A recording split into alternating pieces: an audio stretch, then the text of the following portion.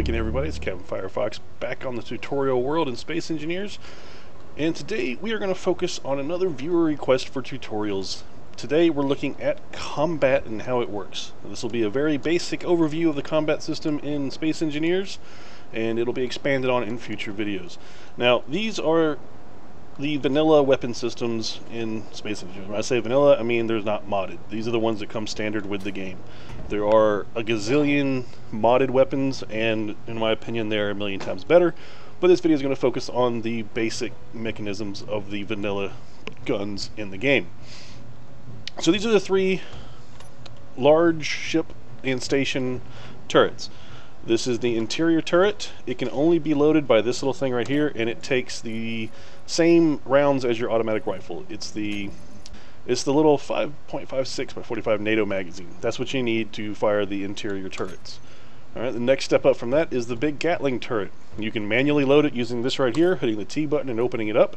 And this one takes the large NATO ammo, ammo container.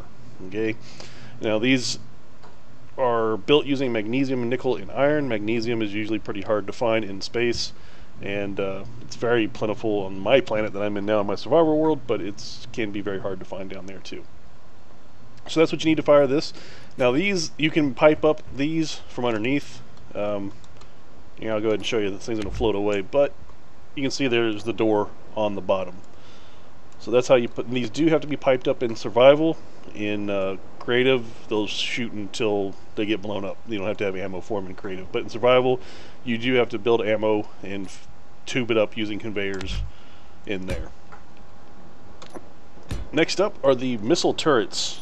Now these, these bad boys right here can do a lot of damage. Um, again, you can go in here through that. They take the 200 millimeter missile container. That's what they use. That's the ammo they shoot.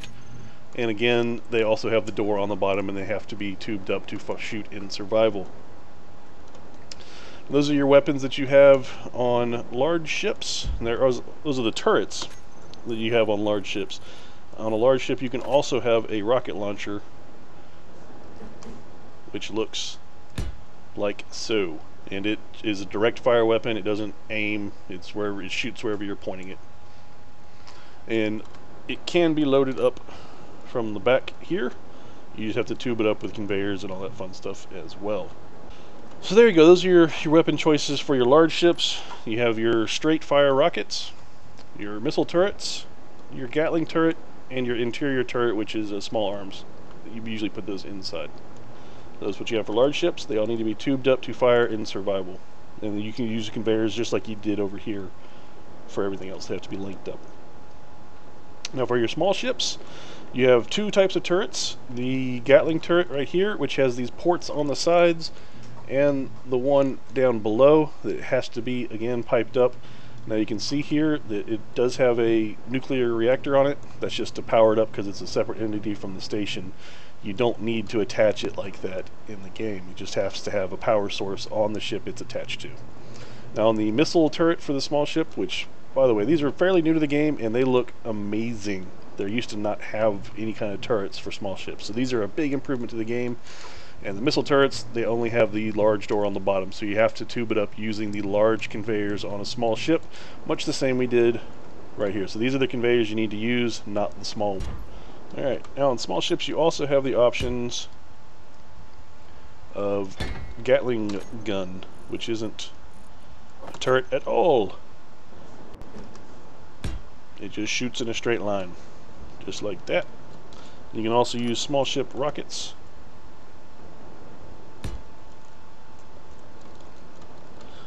which shoot out the pointy end. The yellow end is where they shoot. Now these cannot be piped up. Okay, you have to actually reload these from the front manually.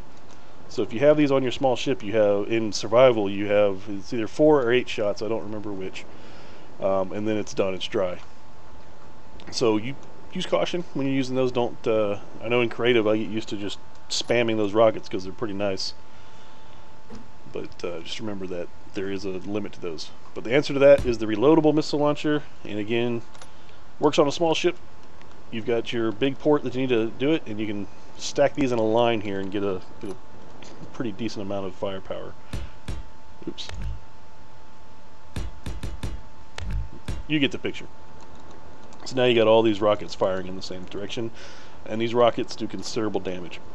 I've added a cockpit in here so I can jump in and control this, and I've given it something to shoot at just so you can see a, basically the difference in the damage they do. Now this thing is going to start floating whenever I shoot it, so I'll have to shoot it quickly. Alright, so we're going to go ahead and jump into the spectator cam now and uh, show you what these things can do. Alright, select number one for our gun. You can see, not doing a whole lot of damage. There we go, finally put a hole in it. Number two for our rocket launcher over there. Considerably more damage. And it's deforming all the blocks around it as well. So there we go, now we've got another hole in there. Now for our rack of reloadables, there's one fire. See, it shoots them all at once, and I've already busted through it there. Now the whole thing's moving. now, I don't know if they'll do it in creative or not, but they should stop firing and start reloading here. it's gonna run into us. Alright, well, that's enough of that. Let me get out of here and delete this block before it runs right into us. Alright, now that we're done with these, we'll move over to the turrets and I'll give you a little display on how those work. Okay, now what you can do with the turrets, if you go into your control panel and you click on the Gatling turret or whatever turret you want to use, you can hit this control button down here and you can take over control of the turret. You can look around, find your target that's conveniently pasted up here, and shoot away. Uh, again, this is a Gatling turret, so it's not doing a whole lot of damage to it, but sure does look cool. Okay, come over here to this Gatling turret, excuse me, missile turret. Same thing, missile turret, control, go up there, fire, reload, fire, reload, and you can see the damage these rockets do to small ships. I've shot it twice and the, that ship is absolutely useless now. These rockets are a pain in the butt for small ships. Now to show what these the big guns do well let me go ahead and get my spectator cam set up and then I will show you what they do. And that that is what turrets do to a small ship. They wreck havoc. That poor ship didn't do anything but exist. Well for a minute it existed anyways. Because even the small turrets are getting on the action now that's that. Now what the turrets are aiming at is anything with a computer on that ship up there. I took that ship and put it in the Space Pirates faction, so they automatically detected it as a threat and started firing at it. So now that ship is very, very gone. Not much left of it. Now let me hop back in my body. So that's that. Now, one of the questions viewer asked was how do you get in combat, how do you get out of combat, how do you avoid it, and all that fun stuff. Now, in space, there will be randomly these little red things over here. The SPRT is the pirate faction. It's NPCs. They some of them will come close to you and start attacking you. Others won't. Now these are raiding outposts, so they are immobile. They do not move, but they're fun to go and attack and get the goodies that are inside of those. Okay, so after that basic rundown of how the turrets work and all that kind of stuff, I want to show you how it kind of implements on an actual ship that you can fly and, and do some good in, in combat. This is my own creation, built this a while ago whenever the turrets first came out, just to put them on a small ship and, and have fun with them. Um, these used to be large thrusters back here, and this thing was a hell of a lot faster, but they were bugged at the time and kept blowing up, so I had to put the small ones in there instead. Now over here you can see that I've removed the top layer right here so you can kind of see how everything's hooked up. That's where the missile turrets would be sitting on this one, but I've moved, removed them and the blocks over here so you can see how everything's piped up.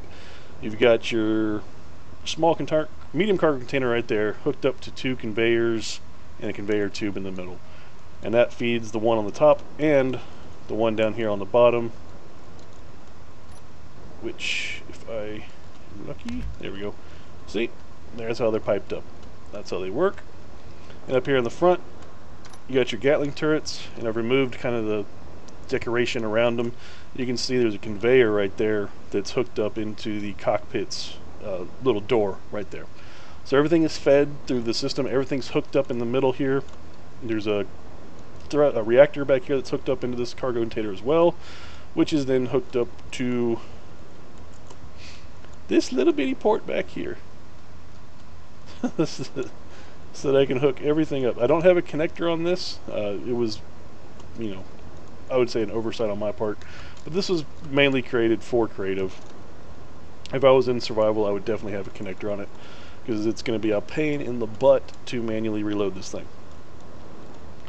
But this wouldn't be a good combat tutorial if I didn't go out and get myself blown up. So what I'm going to do is jump in this bad boy and start flying towards the closest uh, yeah, these guys are gonna these guys are gonna wreck me. But you'll kind of see, kind of get an idea behind the combat in the game, and you can laugh at my expense. So I'm gonna start heading that way, and I will cut back whenever I have caught up to it. All right, I'm approaching this uh, outpost now, and you can see it's already started to spit out some some drones. Now the way you stop it in any of these bases or carriers or whatever might come your way from spawning, you got to knock out the main ship's antenna, which I'm going to try to do. Now most of the the guns have a range of 800 kilometers, so I'm about to get in the range now, and that means I'm about to die, so I'm going to start throwing some stuff at them. Turrets just took off.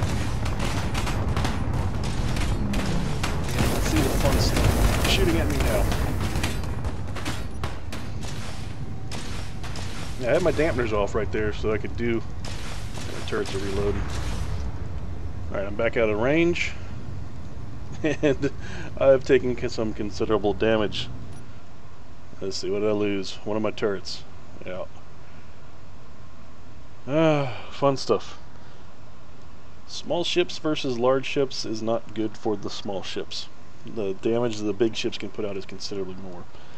And this guy's got heavy armor on him, which is why he's so sluggish, but he still can't really take a punch from the big rocket launchers especially. Alright, here we go again. I'm going to come in kind of straight this time, so I should get killed. Kind of show you the difference between strafing and just driving right into it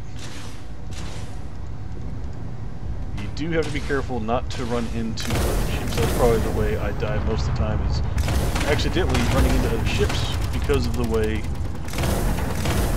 everything works. It's uh, very easy to run into somebody on accident.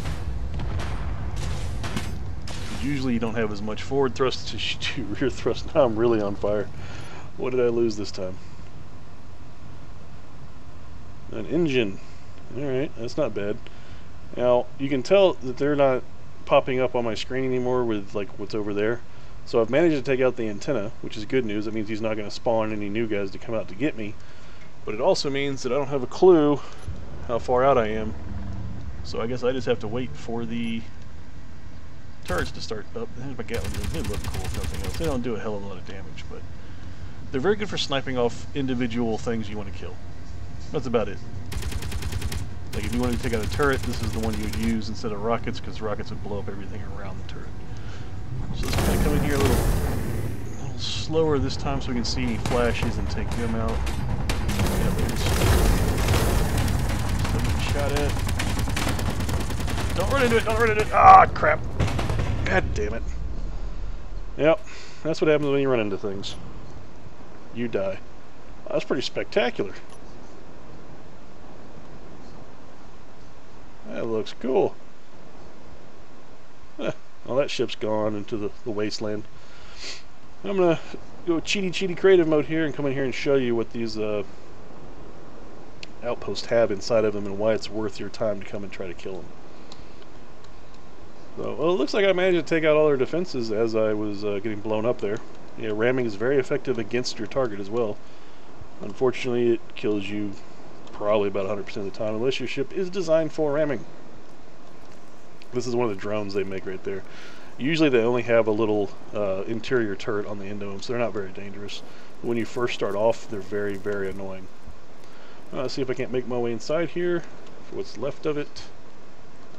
Hopefully I didn't blow up their uh, cargo containers, because... No, alright. Where you at? Where's the door? There we go. Do we have gravity? We do have gravity. Alright. And it's not going to open because I don't have access to it, so we're just going to go cheaty cheaty. Delete. I'm going to be that way about it. They do have interior turrets in here. Well, let's go ahead and kill them.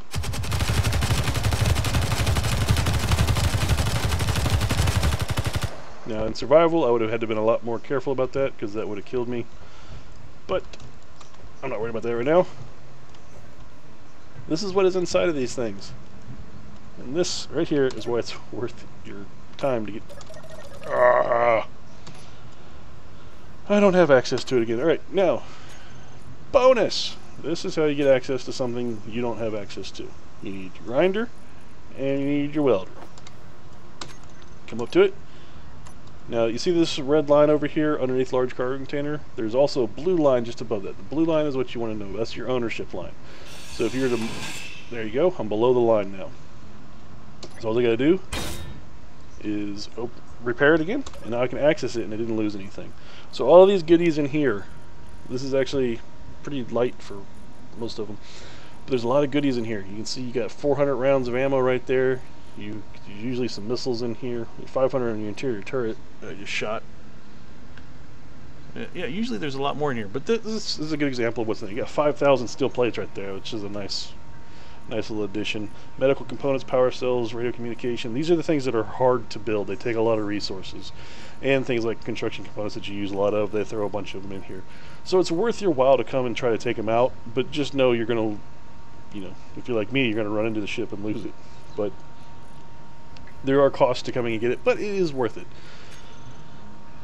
So, with that being said, I'm going to hightail it back over to the base. Alright guys, well, that'll wrap up the tutorial on the weapon systems in Space Engineers. If there's anything you would like me to go over in more detail, please let me know down in the comments section below. If there's another idea you want me to do a tutorial on, please do send me a private message, or please just leave it down in the comment section below, and I will get on it as soon as I am able. Thanks again for watching. This is Captain Firefox signing off. See you next time.